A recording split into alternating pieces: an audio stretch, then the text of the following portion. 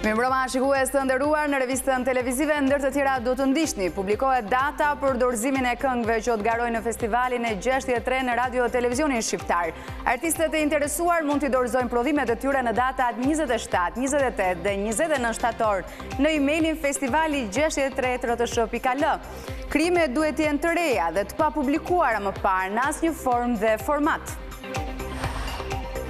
Deputetët para se të merrnin pushimet dhanë disa sugjerime se si mund të pasurohet programacioni i radio televizionit publik shqiptar nga sezoni i ardhshëm. Ata propozuan që të ketë sa më shumë emisione cilësore dhe të rikthehet i madh si dikur. Komentet i bënë në rubrikën më të re në televizionin shqiptar Kafe me RTSH. Pas evidentimit të rasteve me ethe të Nilit në Shqipëri, Instituti i Shëndetit Publik sqaron se nuk ka vend për panik. 80% e të prekurve bëjnë forma të lehta të sëmundjes, ndërsa më pak se 1% e tyre sëmuren rëndë. Autoritetet këshillojnë të ruhen nga mushkonjat. Bashkimi Europian dhe SHBA kritikuan qeverinë e Kosovës për mbylljen e disa sporteleve të postave serbe në veri të vendit. me argumentin se operonin pa licencë, por pavarësisht kritikave, Ministri i Brendshëm Xhelal Sveçla tha se Prishtina ka marrë vendimin e duhur. Kamala Harris ka zgjedhur guvernatorin e Minnesotas Tim Walz si kandidat për nënpresident të demokratëve. Një përpjekje kjo për të zgjeruar bazën e votuesve në garën për president të Shteteve të Bashkuara që mbahet në datë 5 nëntor.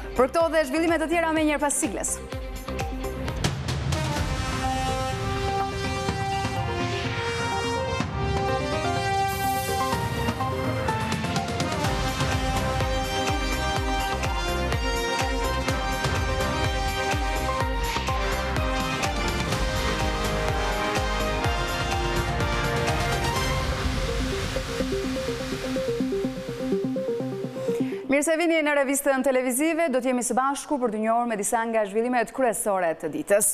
Publikohet data për dorëzimin e këngëve që do të garojnë në festivalin e 63 të këngës në radio televizionin shqiptar.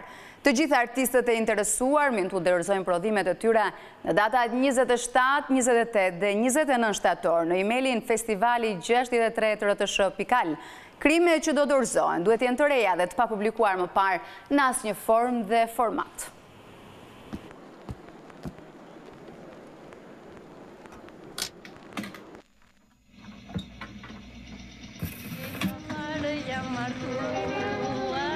Gara e vërtetë e muzikës i ka rrënjët këtu. Fest 63 po troket. Ndaj Radio Televizioni Shqiptar fton të gjithë krijuesit dhe interpretuesit që të dërgojnë krijimet e tyre në emailin zyrtar festivali gjashtëdhjetë e tre et rtsh pikë al në datat njëzet e shtatë, njëzet e tetë dhe njëzet e nëntë shtator. Të gjithë artistët të cilët dëshirojnë t'i bashkohen festivalit më të rëndësishëm të muzikës në vend duhet të ndjekin me kujdes hapat e mëposhtëm dhe të aplikojnë duke dërguar Këngën e plotë në formatin MP tre. orkestralen bashkë me zëra shoqërues në formatin MP tre, tekstin e këngës në formatin Word. Po ashtu, minutazhi i këngës konkurruese nuk duhet t'i kalojë katër minuta, si edhe të jenë të shkruar emrat e autorëve të këngës konkurruese, kompozitori, poeti, orkestruesi, producenti realizues dhe studio realizuese. Autorët e këngës duhet të jenë shqiptarë. Kompozitori lejohet të prezantojë në festival vetëm një këngë, fotografi të artistit apo grupit performues nëse merr pjesë për herë të parë në festivalin e RTSH-së. Po ashtu, artisti performues duhet të ketë mbushur moshën gjashtëmbëdhjetë vjeç për të konkurruar. Numër kontakti dhe email për komunikim direkt me stafin e festivalit, menjëherë pas dërgimit të email. Artistët pjesëmarrës do të marrin konfirmim për dorëzimin me sukses të materialeve konkurruese. Të gjitha krijimet të cilat do të dorëzohen duhet të jenë të reja dhe të papublikuara më parë.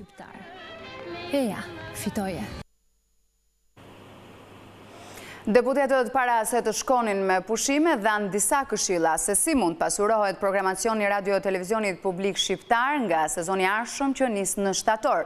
Media publike ka nisur prej disa javësh një rubrikë që quhet Kafe me RTSH, ku po dëgjon të gjitha grupet e shoqërisë se çfarë duan të shohin në televizionin e shqiptarëve.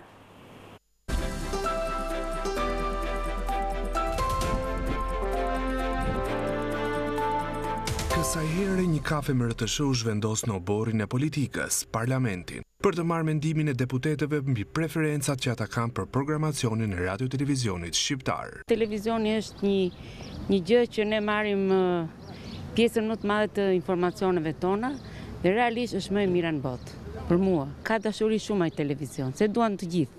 Normal që po. Qysh fëmijë? Çfarë programi ju pëlqen? Ka programe, nga më të ndryshme, sidomos programet sociale. E ndjek, sidomos kohët e fundit. Në fakt, edhe një gjë doja ta vlerësoja dhe faleminderit që po më jepni rastin që ta vlerësoj publikisht. Më vjen shumë mirë që shoh që jeni kthy pak drejt edukimit edhe mesazheve që mendoj që shoqëria ka shumë më shumë nevojë. Lajmet. Gjithmonë aktualiteti. Çfarë do doje të shikoje më shumë në Sforazën? Po, politika, politika më përfshin. Pra emisionet politike, besoj që janë më të ndjekurat. Ata kërkojnë gjithashtu më shumë fokus në programet me tematikat sociale dhe shkencore, ndërsa nuk mungojnë edhe dëshirat për më shumë debat politik.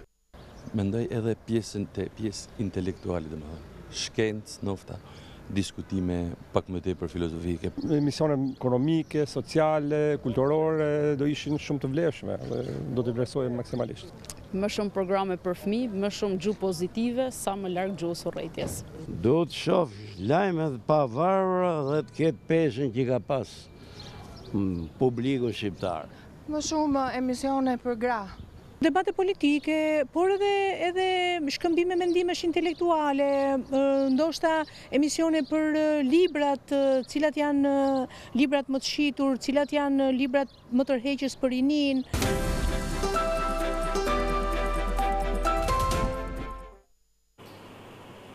E ngarkuara me punë e SHBA-ve në Shqipëri, prezantoi sot veten para shqiptarëve me një video mesazh në gjuhën shqipe. Video u publikua në rrjetin social Facebook nga ambasada amerikane, gjatë së cilës diplomatja amerikane tha se mbështet Shqipërinë për integrimin europian. Përshëndetje të gjithëve! Unë jam Nancy Van Horn.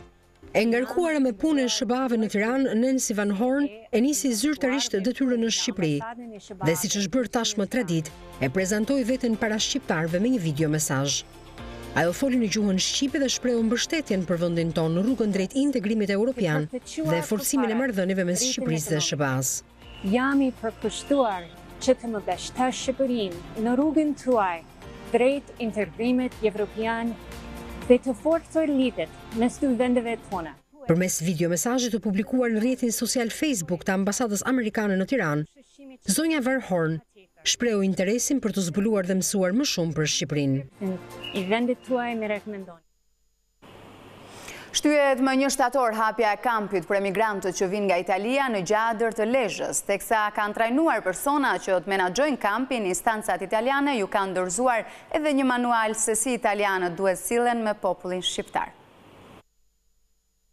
Hapja e tre objekteve për emigrantët që do të vijnë nga Italia në Shëngjin dhe Gjadër është shtyrë deri në një shtator. Testi i parë nga inxhinierët ushtarakë për të hapur vetëm një pjesë të kampit në Gjadër pritet në njëzet gusht, ndërsa i dyti që mund të japë miratimin përfundimtar në Ministrinë e Brendshme italiane do të jetë në një shtator. Nga ana tjetër shteti italian ju ka dhënë një manual sjellje të gjithë italianëve që do të jenë të punësuar në kampin e emigrantëve. Disa nga rregullat etikë që duhet të ndjekin janë, Shqiptarëve nuk u pëlqen të nënvlerësohen, ndaj mos iu prezantoni kurrë me një qasje superiore. Ata janë një popull modest, prandaj lakuriqësia apo ekspozimi i tepërt në publik nuk është i mirëseardhur. Shmangni ngacmimet ndaj grave shqiptare apo sjelljet e çuditshme. Është shoqëri konservatore, sidomos në veri të vendit. Një burrë që shikon gruan e tij të ngacmohet nga një burrë tjetër mund të reagojë keq. Shqipëria është një vend shumë i sigurt. Nuk ka as vjedhje, as grabitje dhe as ngacmime seksuale, kështu që evitoni sjellje që bëjnë diferencë nga këto. Në Shqipëri nuk ka ndasi fetare. Pavarësisht se është një vend me shumicë myslimane, mbi pesëdhjetë për qind të popullsisë ka bashkëjetesë fetare.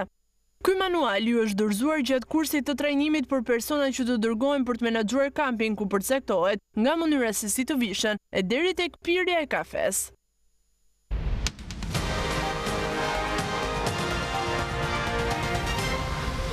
Sa të rrezikuar jemi nga sëmundja e etheve të Nilit, Instituti i Shëndetit Publik ka qetësuar qytetarët duke e kujtuar përmes fakteve shkencore se nuk ka vend për panik. 80 për qind e të prekurve bëjnë forma të lehta të sëmundjes, ndërsa vetëm më pak se një për qind e të infektuarve Mund të sëmuren rëndë me prekje të sistemit neurologjik, sakaq autoritetet e shëndetit publik këshillojnë qytetarët të ruhen nga mushkonjat. Pas rikthimit të etheve të Nilit Perëndimor në Shqipëri, Instituti i Shëndetit Publik ka qetësuar popullatën duke publikuar disa të dhëna shkencore në lidhje me shkallën e rrezikut që mund të kenë personat që mund të pickohen nga një mushkonjë e infektuar me virusin e Nilit. Sipas këtyre fakteve, tetëdhjetë për qind e njerëzve të infektuar me këtë virus nuk kanë simptoma, rreth njëzet për qind kanë simptoma të lehta, të ngjashme me ato të virozave, ndërsa vetëm më pak se një për qind e të infektuarve mund të sëmuren rëndë me prekje të sistemit neurologjik. Pas moshës gjashtëdhjetë vjeç, apo tek personat që kanë dëmtime të imunitetit, diabet, alkoolistë sidomos apo persona me kancer, ato mund të shkaktojnë, pra në një për qind të tyre, shfaqen format me prekje të sistemit nervor qendror, që janë encefalite apo meningite apo paralizë flakside apo sindrom Guillain-Barré. Në kuadër të kësaj fushate informimi, Instituti i Shëndetit Publik udhëzon qytetarët të bëjnë kujdes me mushkonjat, duke i mbajtur sa më larg, pasi ato janë transmetuese të shumë sëmundjeve. Rekomandohet boshatisja e pjatave të vazove të luleve sa më shpesh, enët me ujë të ndenjur, veshja e rrobave të gjata e me ngjyrë të çelur në ambjente të hapura, përdorimi i rrjetave në dritare, si dhe mbajtja pastër e ambjenteve të banimit. Ndërkohë, meningitet dhe encefalitet që janë forma të rënda të infeksioneve me natyrë virale dhe bakteriale po qarkullojnë edhe tek fëmijët. Në urgjencën e pediatrisë në QSUT, mjekët thonë se moshat më të prekura janë ato pesë deri në gjashtë vjeç, por ka edhe më të rritur, dhjetë vjeç. Në urgjencën e pediatrisë së QSUT-së përveç infeksionit Covid, gastroenteriteve dhe infeksioneve respiratore, tek të vegjlit po diagnostikohen edhe infeksione me simptoma të rënduara të sistemit nervor qendror siç janë meningitet dhe meningoencefalitet. Kemi pasur edhe në shërbimin tonë fëmijë që janë paraqitur me simptoma të meningitit, por që zakonisht janë hospitalizuar në shërbimin e infektivit edhe kanë marrë mjekimin përkatës. Simptomat në këto raste janë të komplikuara dhe të vegjlit shtrohen me urgjencë në spitalin infektiv. Kryesisht me të vjella, temperaturë rezistente, rigiditet të qafës, facies i intoksikuar, gjendje jo shumë e mirë, një pjesë jo shumë edhe koshient, forma që janë të kombinuara meningoencefalite.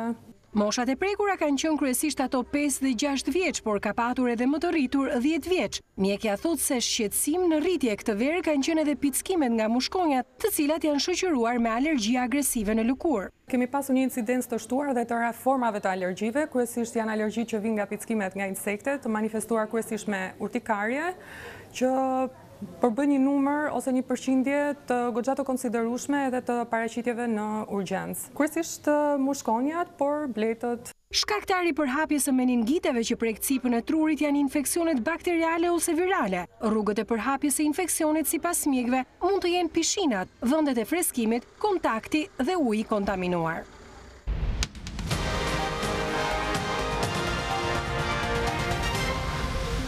Babai vrau nënën me sëpatë, djali e hodhi gjashtëdhjetë e nëntë vjeçarin nga shkallët duke i shkaktuar vdekjen. Krim i rëndë në familje ndodhi mëngjesin e së martës në fshatin Shalës të Konispolit. Policia ka arrestuar djalin dyzet vjeçar të çiftit, ndërkohë që trupat e pajetë do t'i nënshtrohen ekspertizës në Tiranë.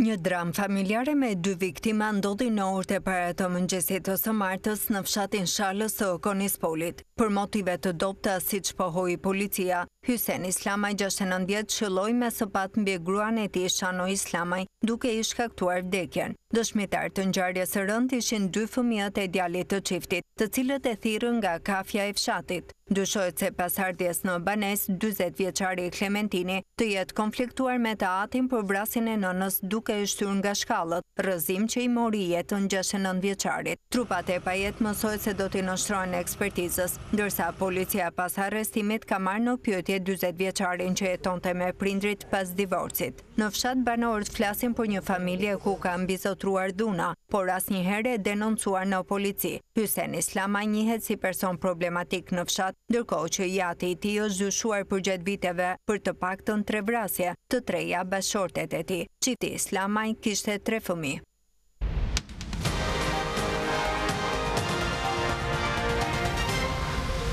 Mbyllja e degëve të postave serbe në veri të Kosovës u kundërshtua nga ndërkombëtarët, por ministri i Brendshëm i Kosovës, Xhelal Sveçla, tha se një gjë e tillë u bë pasi ato ishin struktura ilegale dhe njoftoi se së shpejti do të hapet edhe ura në Mitrovicë. Ministri i Punëve të Brendshme i Kosovës, Xhelal Sveçla, ka mbrojtur aksionin e autoriteteve të ndërmarrë më pesë gusht kur u mbyllën nëntë degë të postës së Serbisë në veriun e vendit. Gjatë një vizite në Mitrovicën e Veriut, kur u pyet për aksionin e policisë, Sveçla u përgjigj duke thënë se mbyllja ishte diçka normale, pasi degët e postës së Serbisë nuk kishin licencë për të ushtruar veprimtarinë. Sveçla foli edhe për urën mbi lumin Ibër. për të cilën tha se do të hapet për kalim, por se kur, do e vendosin ekspertët. Megjithatë, mbyllja e degëve të Postës Serbe, ashtu sikurse edhe hapja e urës, janë kundërshtuar ashpër nga Serbia, BE e SHBA. Albin Kurti po kërkon që me veprimet e fundit që po ndërmerr të krijojë një luftë të re në Ballkan, tha Serbia, ndërsa BE aksionin policor në veri e quajti të pakoordinuar dhe të njëanshëm dhe se me këto veprime Kosova do të rrezikojë heqjen e masave.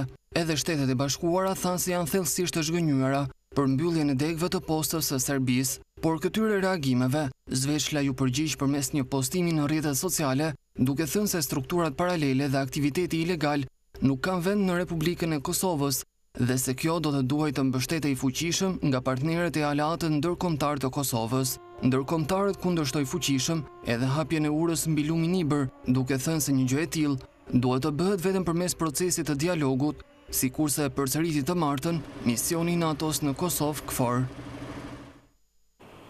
Presidenca e Kosovës nuk e ka pritur aspak mirë qëndrimin që kryeministri Albin Kurti ka mbajtur ndaj incidentit që Vjosa Osmani pati në aeroportin e Shkupit, ku u tentua t'i merrej telefoni i saj personal për t'u kaluar në skaner. Vetëm pak ditë pas incidentit të presidentes së Kosovës Vjosa Osmani, kryeministri Albin Kurti vizitoi Maqedoninë e Veriut. Teksa u takua me homologun Hristijan Mickoski, Kurti komentoi edhe ngjarjen. Besoj që duhet ta synojmë të vërtetën dhe kurrsesi tensionimin, pra le të zbardhet rasti, janë organet përkatëse që e bëjnë këtë gjë. Kryeministri Mickoski dhe unë nuk mund ta bëjmë tash edhe zyrtarin doganor, edhe policin hetues. Ky qëndrim nuk është pritur aspak mirë nga Presidenca e Kosovës. Mënyra se si u trajtua incidenti ndaj Republikës së Kosovës në Shkup gjatë konferencës së djeshme për media, është për keqardhje. sepse i ka kontribuar edhe më shumë propagandës kundër Republikës së Kosovës. Ajo që ka ndodhur në aeroportin e Shkupit ka qenë shkelje e qartë e rregullave ndërkombëtare të njohura dhe të aplikuara botërisht, prandaj Presidenca pret të njoftohet për masat e ndërmarra lidhur me këto shkelje, ashtu siç është potencuar edhe në notën e protestës së drejtuar nga Republika e Kosovës. Ngjarja u shënua në një gusht të dy mijë e njëzet e katër-s në aeroportin e Shkupit, ku Presidentja e Kosovës, Vjosa Osmani, ndodhej në tranzit për të shkuar në Slloveni. Sigurimi i këtij aeroporti ka tentuar t'i marrë Osmanit telefonin personal, ndërsa kjo e fundit nuk ka pranuar me pretendimin se kjo është një shkelje e rregullave diplomatike. Pavarësisht shpjegimeve të rregullave që ekipi i presidentes ia ka bërë të ditur zyrtarit të aeroportit, ai ka tentuar fizikisht ta shtyjë presidenten dhe është detyruar që të reagojë edhe policia e Kosovës.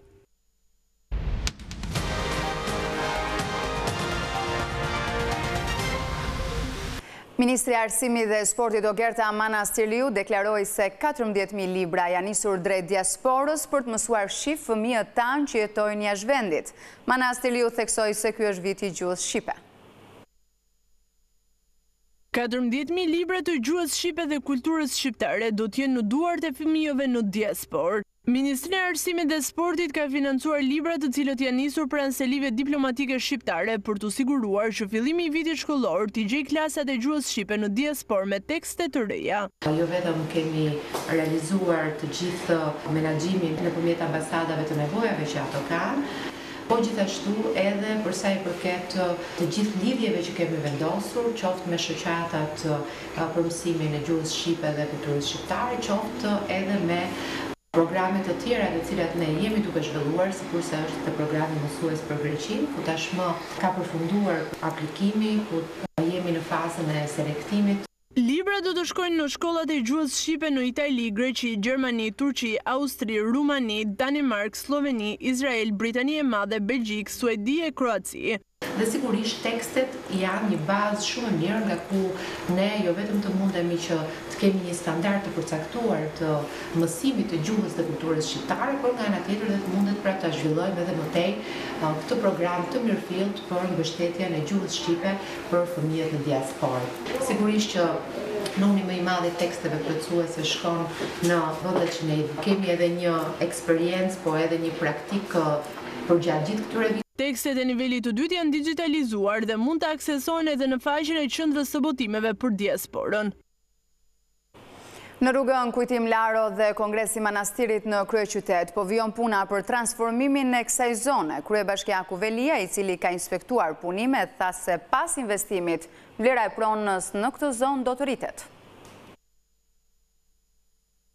Bashkia e Tiranës vijon punën për rehabilitimin e hapësirave mes pallateve në kryqëzimin e rrugëve Kujtim Laro dhe Kongresi i Manastirit. Kryebashkiaku Erion Veliaj inspektoi punimet në terren, ku ekipet ndërhyjnë për transformimin e zonës, e cila pas investimit pritet ta rrisë vlerën e pronës rreth tridhjetë deri në dyzet për qind. Veliaj tha se do të kryhet edhe unifikimi i fasadave përmes fondit të komunitetit. Shumica e njerëzve janë për pushime.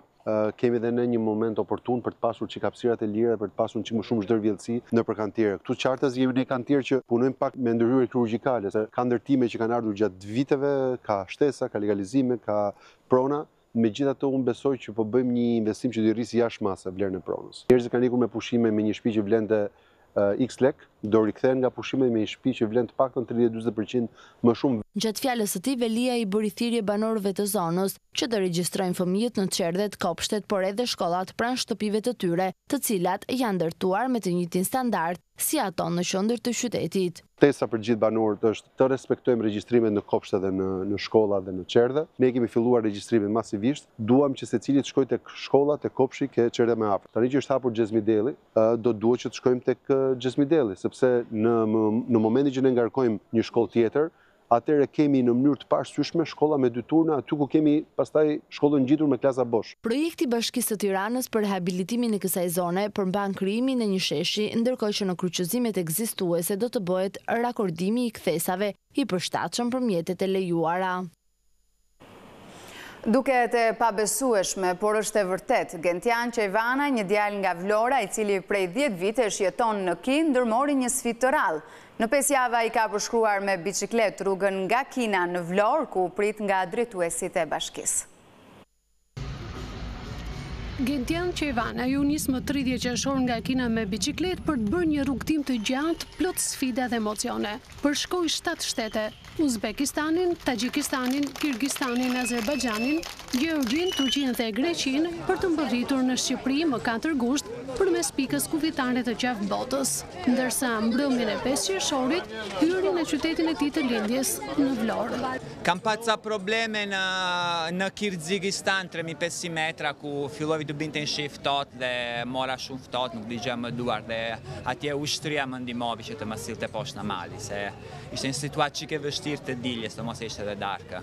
Në Vlorë çiklisti ka marrë edhe flamurin e qytetit europian të sportit për vitin dy mijë e njëzet e katër, Nga nënkryetari i bashkisë Klevis Kaso dhe drejtoresha e klubit Shumë Sportësh, Elona Hasanaj. Genti na bën shumë krenar, ndihem realisht shumë i emocionuar që një djalë shqiptar, një djalë nga Vlora bën gjithë këtë cirkuit kaq të gjatë vi nga Kina në në Vlorë me biçikletë. Është një arritje që nuk besoj se ndonjë shqiptar tjetër e ka bërë më para. Genti tha që ne duam të shpërndajmë kulturën e bicikletave në qytet, duke qenë se ne jemi qyteti Europian i sportit, sivjet kemi bërë dy aktivitete me bicikletë, Mountain Bike Kanina, që është një vend për, aventur, për aventurierët e bicikletave, dhe Mountain Bike Sazani. Faleminderit, faleminderit. Faleminderit, Vlora!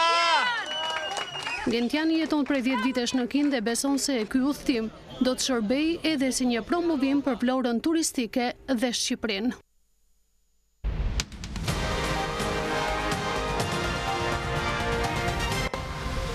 Kandidatja demokrate për presidente në Shtetet e Bashkuara Kamala Harris zgjodhi sot guvernatorin e Minnesotas, Tim Walz, si kandidat për zëvendëspresident. Kandidatja e demokratëve në garën për president të Shteteve të Bashkuara, Kamala Harris, ka zgjedhur guvernatorin e Minesotas, Tim Walz, si kandidat për nënpresident, në një përpjekje të dukshme për të zgjeruar bazën e votuesve duke tërhequr votuesit ruralë e të bardhë, njoftojnë mediat amerikane duke iu referuar burimeve me dijeni për këtë çështje. Njoftimi erdhi një ditë pasi Harris siguroi zyrtarisht emërimin si kandidate e partisë së saj për presidente. Pas një raundi pesë ditor votimesh në internet nga delegatët e Kuvendit Kombëtar Demokratik, që përfundoi të hënën në mbrëmje, në një deklaratë pak para mesnatës, Komiteti Kombëtar Demokratik tha se nëntëdhjetë e nëntë për qind e delegatëve kishin votuar në favor të zonjës Harris. Votimi do të certifikohet zyrtarisht në Kuvendin e partisë në Çikago. Harris, gruaja e parë dhe politikania e parë me prejardhje afroamerikane dhe indiane që shërben si nënpresidente, bëhet kështu gruaja e parë jo e bardhë si kandidate zyrtare e njërës prej partive kryesore. Nënpresidentja Harris pritet të shfaqet me Walz në një tubim fushate në Filadelfia të martën në mbrëmje. Vendimi i Harris është treguesi i mënyrës së saj të të menduarit për strategjinë më të mirë për të fituar në zgjedhjet e nëntorit. Ju ftoj të ndjekim tani një material që tregon karrierën e guvernatorit Tim Walz. Uh, well, welcome everyone. Exciting day again. Uh, you're getting a chance to see a lot of the folks who were doing a lot of work. Tim Walz lindi dhe u rrit në qytetin e vogël të Nebraskës. Ai u bë mësues fillimisht në Kinë, më pas në Nebraska dhe më në fund në Minnesota. ku dha mësim gjeografinë dhe drejtoi ekipin e futbollit të shkollës së mesme. Ai ishte këshilltar i fakultetit për aleancën e homoseksualëve në vitin një mijë e nëntëqind e nëntëdhjetë e nëntë. Walz shërbeu gjithashtu në Gardën Kombëtare të Ushtrisë për njëzet e katër vjet, duke u regjistruar që në moshën shtatëmbëdhjetë vjeçare. Ai kandidoi dhe u zgjodh në vitin dy mijë e gjashtë në postin anëtarit të Dhomës së Përfaqësuesve dhe shërbeu aty për dymbëdhjetë vjet, para se të fitonte pozitën e guvernatorit të Minesotas më dy mijë e tetëmbëdhjetën. Në postin e guvernatorit, ai shërbeu deri në vitin dy mijë e njëzet e dy. Si guvernator, Walz ka çuar përpara një agjendë progresive, që mes të tjerash përfshin masa për t'iu përgjigjur ndryshimeve klimatike, ulje të taksave për klasën e mesme dhe rritje të numrit të ditëve të pushimit për punëtorët e Minnesotas. Walz ka ngritur zërin po ashtu për të mbrojtur edhe të drejtat e grave për riprodhim, mirëpo ka treguar me raste edhe anën e tij konservatore. duke mbrojtur interesat bujqësore dhe të drejtën për armë. Tashmë Walz është kryetari i shoqatës së guvernatorëve demokratikë, ndërsa u zgjodh nga Kamala Harris për të mbajtur postin e nënpresidentit të Shteteve të Bashkuara, nëse demokratët fitojnë zgjedhjet e nëntorit. Harris dhe Walz do të përballen me Trumpin dhe kandidatin e tij për nënpresident, JD Vance. Flasim tani për situatën në Lindjen e Mesme, e cila duket se po shkon drejt një përshkallëzimi. Gjatë orëve të fundit, avionët izraeli luftara fluturuan mbi Liban, ndërsa Irani nisi një stërvitje të madhe me dronë. Një ditë pasi presidenti i SHBA-s Joe Biden u takua me ekipin e tij të sigurisë kombëtare dhe foli me mbretin e Jordanisë për të zbutur tensionet në Lindjen e Mesme, Avionët luftarakë izraelitë thyen pengesën e zërit tri herë për tridhjetë minuta mbi Bejrut të martën, duke shkaktuar zhurmat e forta që i shtynë njerëzit në kryeqytetin libanez të vrapojnë për t'u mbrojtur, pak përpara një fjalimi të planifikuar nga shefi i Hezbollahut Hassan Nasrallah. Avionët luftarakë izraelitë fluturuan ulët mbi kryeqytetin libanez, me dëshmitarët okularë që thanë se mund t'i shihnin avionët me sy të lirë. Zhurmat ishin më të fortat e dëgjuara në Bejrut në vite dhe kjo ishte hera e tretë që izraelitët dërgonin avionët e tyre luftarakë në kryeqytetin e Libanit brenda një jave duke shkelur hapësirat ajrore libaneze. Ndërkohë Irani nga ana tjetër, siç raportojnë mediat e huaja, ka filluar të ushtrojë një stërvitje të gjerë me dronë. Teherani ka thënë se nuk kërkon përshkallëzim të konfliktit në Lindjen e Mesme, por është shprehur se Izraeli do të ndëshkohet për vrasjen e liderit politik të Hamasit, Ismail Haniyeh. në rezidencën e tij në Teheran, ndërsa priste të merrte pjesë në inaugurimin e presidentit të ri të Iranit Pezeshkian. Google ka pësuar një humbje të madhe gjyqësore në Shtetet e Bashkuara të Amerikës që mund të ndryshojë mënyrën se si bën biznes. Ka qenë gjithçka e përgatitur për revistën televizive. Faleminderit që qëndruat me ne. Bashkë natën e mirë.